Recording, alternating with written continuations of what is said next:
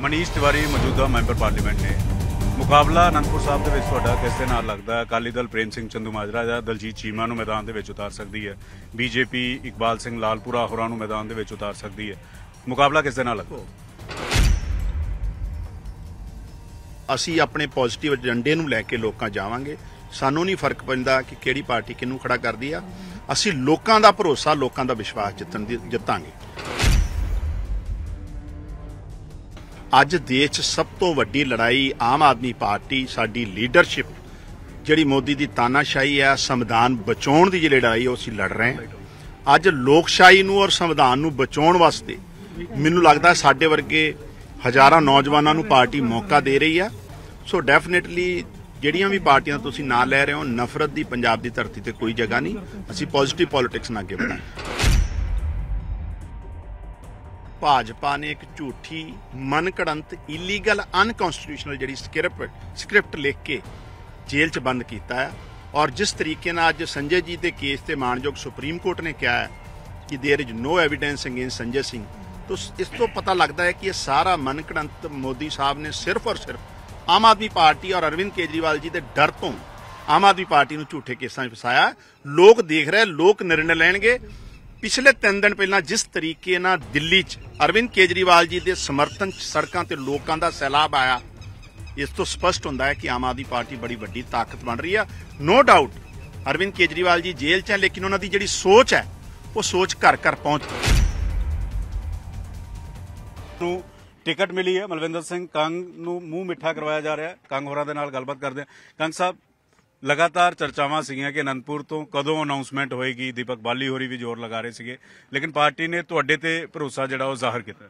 Definitely ਮੈਂ party ਦੀ leadership ਦਾ ਅਰਵਿੰਦ ਕੇਜਰੀਵਾਲ ਜੀ ਦਾ ਭਗਵੰਤ ਮਾਨ ਜੀ ਦਾ ਬਹੁਤ ਧੰਨਵਾਦ ਕਰਦਾ ਹਾਂ। ਪੂਰੀ ਪਾਰਟੀ ਲੀਡਰਸ਼ਿਪ ਦਾ ਸੰਦੀਪ ਪਾਠਕ ਜੀ ਦਾ ਬਹੁਤ ਧੰਨਵਾਦ ਕਰਦਾ ਹਾਂ। ਔਰ ਇੱਕ ਸਧਾਰਨ ਵਰਕਰ ਤੇ ਪਾਰਟੀ ਨੇ ਭਰੋਸਾ ਦਿਖਾਇਆ ਹੈ।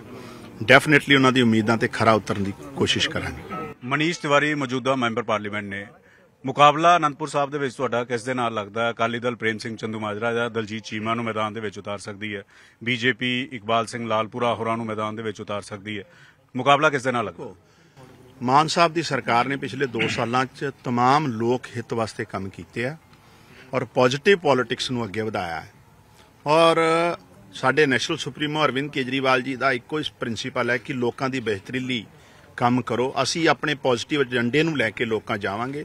ਸਾਨੂੰ ਨਹੀਂ ਫ਼ਰਕ ਪੈਂਦਾ ਕਿ ਕਿਹੜੀ ਪਾਰਟੀ ਕਿਹਨੂੰ ਖੜਾ ਕਰਦੀ ਆ। ਅਸੀਂ ਲੋਕਾਂ ਦਾ ਭਰੋਸਾ ਲੋਕਾਂ ਦਾ ਵਿਸ਼ਵਾਸ ਜਿੱਤਣ ਦੀ ਜਿੱਤਾਂਗੇ।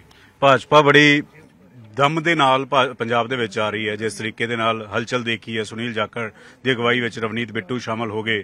ਕਿਸ ਤਰੀਕੇ ਦੇ ਨਾਲ ਲੱਗਦਾ ਅਨੰਦਪੁਰ ਵੀ ਟਫ ਭਾਜਪਾ ਦੇ ਨਾਲ ਰਹੇਗਾ ਜਾਂ ਮਨੀਸ਼ ਤਿਵਾਰੀ ਇੱਕ ਵੱਡਾ ਚੈਲੰਜ ਜਿਹੜਾ ਹੈ ਉਹ ਤੁਹਾਡੇ ਸਾਹਮਣੇ ਰਹਿਣਗੇ?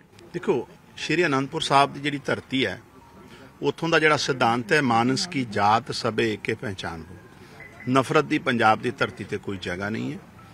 ਅੱਜ ਦੇਸ਼ 'ਚ ਸਭ ਤੋਂ ਵੱਡੀ ਲੜਾਈ ਆਮ ਆਦਮੀ ਪਾਰਟੀ, ਸਾਡੀ ਲੀਡਰਸ਼ਿਪ, ਜਿਹੜੀ ਮੋਦੀ ਦੀ ਤਾਨਾਸ਼ਾਹੀ ਹੈ, ਸੰਵਿਧਾਨ ਬਚਾਉਣ ਦੀ ਜਿਹੜੀ ਲੜਾਈ ਉਹ ਅਸੀਂ ਲੜ ਰਹੇ ਹਾਂ। ਅੱਜ ਲੋਕਸ਼ਾਹੀ ਨੂੰ ਔਰ ਸੰਵਿਧਾਨ ਨੂੰ ਬਚਾਉਣ ਵਾਸਤੇ ਮੈਨੂੰ ਲੱਗਦਾ ਸਾਡੇ ਵਰਗੇ ਹਜ਼ਾਰਾਂ ਨੌਜਵਾਨਾਂ ਨੂੰ ਪਾਰਟੀ ਮੌਕਾ ਦੇ ਰਹੀ ਆ ਸੋ ਡੈਫੀਨਿਟਲੀ ਜਿਹੜੀਆਂ ਵੀ ਪਾਰਟੀਆਂ ਤੁਸੀਂ ਨਾਂ ਲੈ ਰਹੇ ਹੋ ਨਫ਼ਰਤ ਦੀ ਪੰਜਾਬ ਦੀ ਧਰਤੀ ਤੇ ਕੋਈ ਜਗ੍ਹਾ ਨਹੀਂ।